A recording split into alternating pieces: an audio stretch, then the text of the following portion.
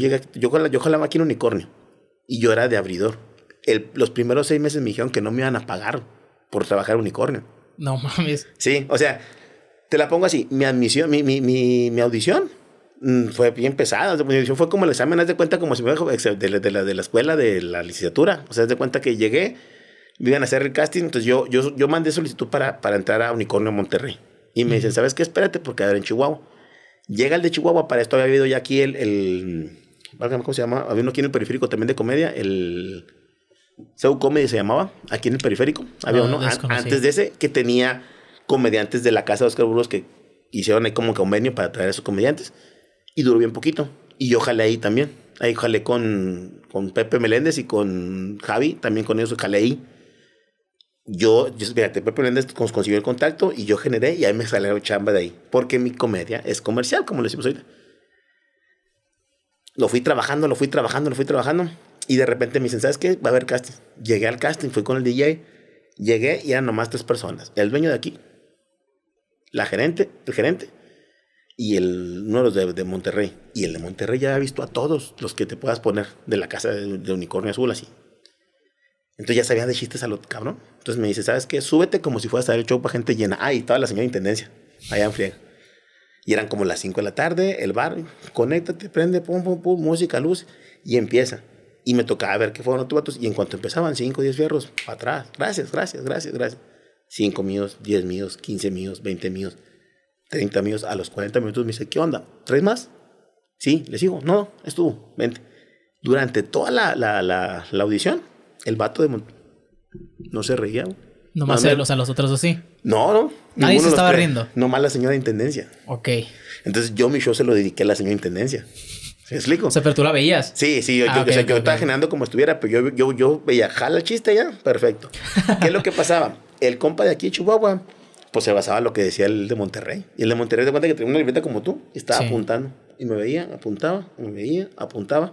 No hacía caras malas ni nada, pero nomás apuntaba y no se reía. Ya estuvo Mario Sarma, perfecto, gracias. Vente. O sea, Mira. bien, bien pesado mentalmente, pero ¿no? O sea, te desgastas bien cañón, porque para empezar te están, te están revisando, te están, te están valorando. ujú. Terminé, me dice, mira, ahí te va. Me gusta tu material, me gusta tu cotorreo, ahí te va. Micrófono. No microfoneas tan chido, te falta este rollo aquí, aquí, conectas la ambición, usado, usado con la mirada, cómo la manejas. Me empezó a hacer un pipa, sí. Tal chiste. Yo lo escuché con tal, tal, tal, tal, tal, tal, así, así, así. Ah, este, ¿sabes qué? Referencia de tal y tal. Me empezó a sacar el rollo. Y yo, "Ups, ya me matearon a la fregada. Pero ya durado un chorro yo haciendo el, el material. Mira, hay dos sopas. Si nos interesa que te quedes con nosotros, pero la opción es de que te quedes con nosotros a seis meses sin pago. Tú vienes por trabajar con Unicornio Azul. Puedes usar la marca Unicornio como tú quieras y todo el rollo, wiri wiri. Yo, pues, ¿qué hago? Yo tenía que, entonces, como ya no trabajaba, yo tengo un negocio de hamburguesas. Ok. Que saludos al licenciado Fuentes, por cierto, que Ah, también, mi tiene, licenciado que también. también tiene un negocio de hamburguesas por ahí. Para que veas, entonces yo Pura ahí- comedia local, consumo Pura local. consumo comedia local. Entonces de cuenta que dije, va, entonces yo abría el negocio de hamburguesas, yo lo atendía, lo abría y luego dejaba listo y a las nueve yo estaba en el bar, abría el show, me seguían dos comediantes este, foráneos, que venían dos comediantes de Monterrey por fin de semana y pélale, en cuanto yo terminaba, pélale al, al changarro. Me empezó a ir muy bien. Entonces a los dos meses y medio me dijeron, ya te vamos a pagar. Me pagan una baba. A los dos meses y medio. Sí. Ok. Porque empezaban a hacer encuestas en el, en el- en el público, público. Y el público se cuenta que te refería si le gustaba, qué comediante le gustaba. Y empecé a salir muy bien referido por la gente local.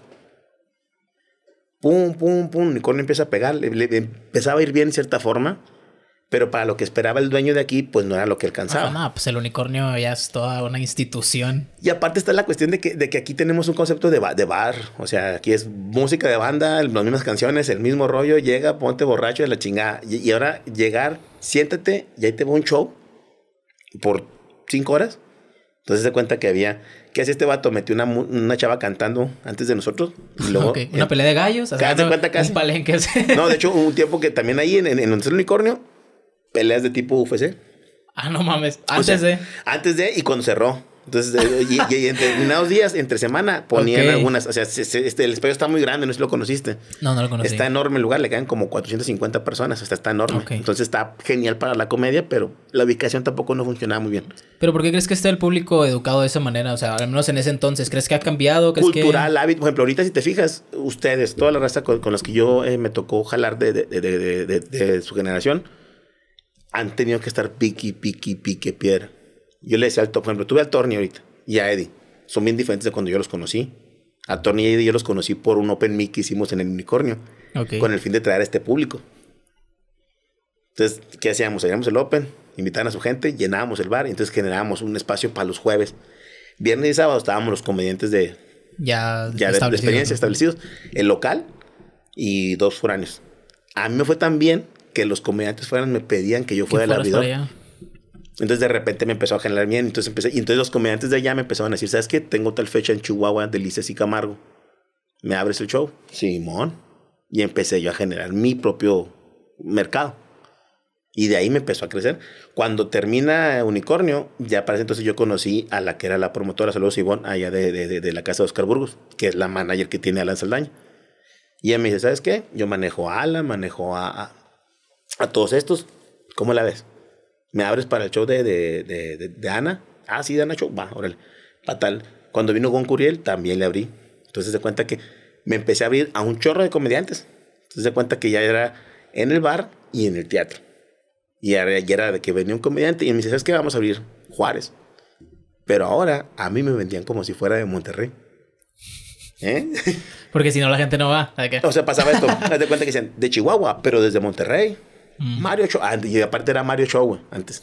Antes era Mario Show, porque era un rollo con eso. Que no, no eras Mario Show porque ya había muchos shows. Son ¿O ¿Cómo estuvo la somos- historia? Somos esa? como familia.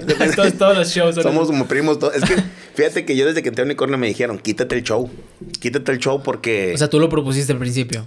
Yo, yo lo utilicé porque era como que lo normal, lo habitual. Entonces yo, yo sentía que mi comedia era un show. O sea, porque tenía la parodia y generaba este rollo. Entonces tenía que ser, ya no nada más es nada más como comediante. Y decía, Mario Ortega comediante, como que no me jalaba. Entonces dije, bueno, Mario Show. Así quedó. Y lo usaba nomás como por X o Y. Como ya no puedo hacer el cantinflitas de cierta forma. Y aparte Sí. porque ya no tiene nada que ver lo que hacía, porque cantinflas lo dejé de, de hacer así formalmente desde el, desde el 2004 o 2000, más o menos, 2000, 2004 más o menos. Y entonces de cuenta que empecé a meter ya las rutinas y lo hacía como hobby. O sea, yo jalaba y metía este rollo.